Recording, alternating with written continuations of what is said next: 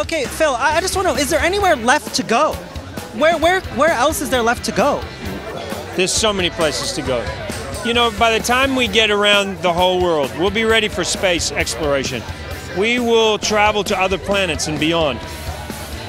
Yeah, I mean, think about it. Here's the thing you go to India, we've been to India like 12 times. You could go to India 100 times and you never use up what's, what, what India has to offer. And I think we've been to over 100 countries. There's something like 160 around the world. I mean, depending on who's counting, because people count countries differently. But there's still a lot to see. We have not been to Nepal. We haven't been to Antarctica. Uh, there's so many places we haven't gone. So, what will we see on the next upcoming season? Well, what we did was really cool this season. We actually invited fans to come to the start of the race in Times Square. So, 3 o'clock in the morning, and we said across all social media, hey, we're starting the amazing race at Times Square, at 3 o'clock, come on down and say hi.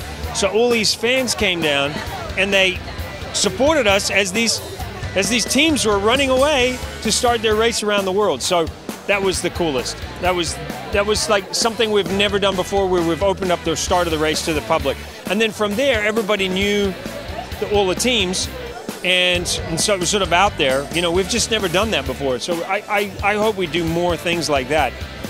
Listen, we live in a new era now. It's not it's not 2001 when we started. We live in a new era, and I think people tweet us when we go around the world anyway.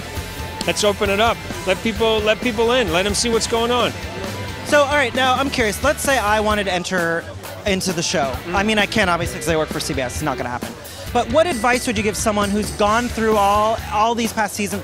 What's something that people need to have to make it to win it? That's probably the best question I've ever I've had all night. Uh, the reason that is hard to answer is because I don't know if anybody really knows what the secret ingredient is.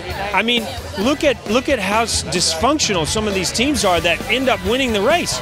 In season three, Flo and Zach actually gave up on the last leg, second to last leg, before going into the final leg. They gave up. They said, "We- we- "We're done. We're done," and they won. So, I think part of the success of Amazing Race is that it's unpredictable.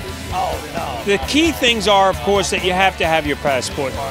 Without your passport, you cannot go anywhere.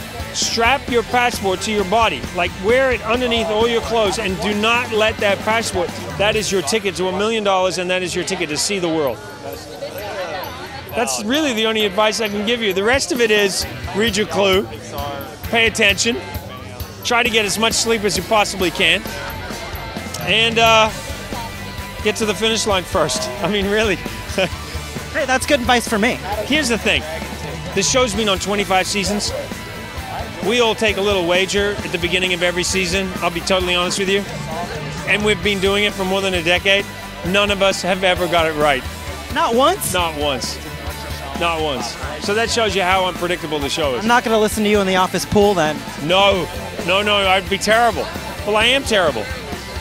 No, nobody wins the money. We end up just like throwing it all in and having a beer at the end of the race because, you know, That's not so bad either. no, no, it's not bad.